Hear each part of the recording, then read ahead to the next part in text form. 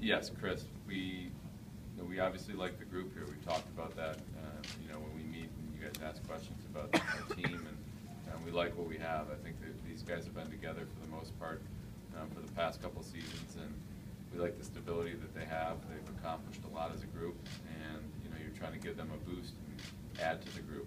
Um, You know, you have to pay a price, obviously, with, you know, giving up uh, some prospects and draft picks, but that's where the organizational strength comes in. I think we've done an excellent job, um, you know, drafting players, developing them, um, and, you know, we're gonna need that down the road. So, um, you don't like to give up draft picks, but at the same time, it is a draft pick, and it's, uh, it's something you have time to recoup those down the road.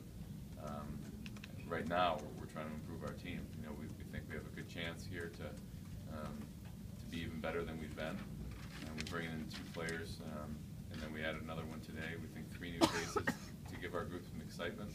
And, um,